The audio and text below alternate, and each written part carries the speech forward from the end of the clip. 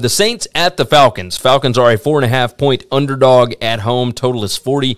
Saints are five and one in their last head to head. Five and one in their last six meetings in Atlanta.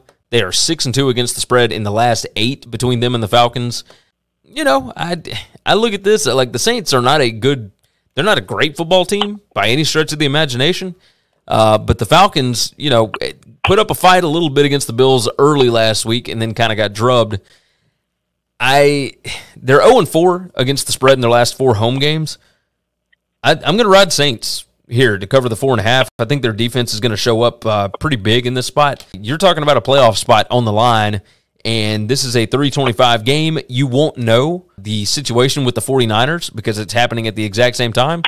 I think the Saints are going to come out like gangbusters here, so I will take them to cover that four and a half. I don't think the Falcons get very much done on offense.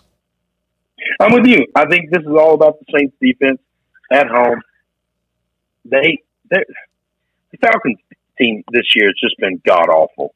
Like, they are such an enigma, man. they, wonder, they've won seven games this year. Like I have no idea can, how. Can, can Arthur Smith like do anything to change this team around, or is this just who Atlanta is?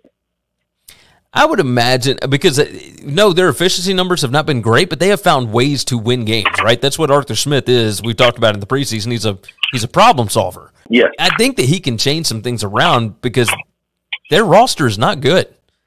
Like it's they got some skill guys that are that are impressive, but I mean they lost Calvin Ridley midway through the year or kind of early in the year. They hadn't really found anybody to to really replace him.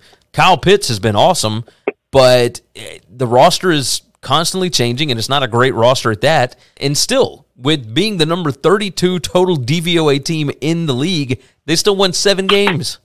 So, like, I think he did a hell of a job considering what he had.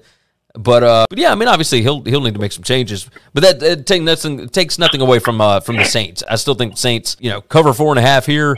If they get a 49ers loss, they make the playoffs. Even losing Jameis Williams or whatever, even losing Jameis early in the season. Winston, excuse me. Uh, all right, we both like the Saints to cover four and a half.